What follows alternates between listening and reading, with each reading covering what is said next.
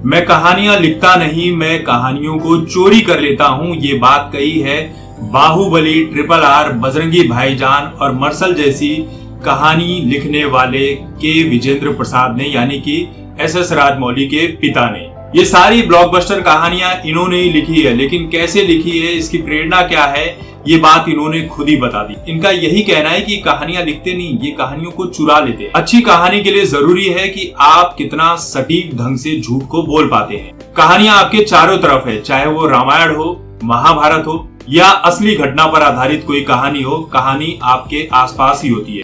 बस आपको करना ये होता है कि आपको उसे एक अलग अंदाज में, अलग तरीके से जनता के सामने प्रस्तुत करना होता है। यानी कि ये कहानियाँ चुरा नहीं रहे, कहानियों को अलग तरीके से प्रस्तुत कर रहे हैं। इनकी जो पिछली फ़िल्म थी ट्रिपल आर इस फ़िल्म में सिर्फ़ इंडिया में नहीं, पूरी दुनिया में जोरदार हंगामा मचा कर रखा हुआ है। जो स्वतंत्रता सेनानी थे अल्लूरी, सीताराम, राजू और कोमाराम भीम। ये दोनों ही किरदार अपनी रियल ज़िंदगी में एक दूसरे से कभी नहीं मिले। लेकिन के वी विजेंद्र प्रसाद ने जिस तरह से इन दोनों को एक साथ लाकर, जिस तरह से स्वतंत्रता संग्राम में युद्ध करते हुए दिखाया है, ये अपने आप में बड़ा ही बेजोड़ लगा था और दर्शकों ने इन्हीं चीज़ों को पसंद किया था। हालाँकि ट्रिपल आर के सिक्वल की भी बात जो है वो कंफर्म कर दी गई है, यानी इसका पार्ट टू आने वाला है। और और तो और इस फ़िल्म का आइडिया भी जो है उन्होंने ब्रेक कर लिया है, उसके ऊपर जल्दी ही कहानी लिखने की शुरुआत करने वाले हैं। इनका यही कहना है कि अपनी ऑडियंस में कहानी के प्रति भूख जगाने की जो बात होती है, वो आपके अंदर जिज्ञासा पैदा करती है कि आपको और कितना बेहतरीन लिखना है।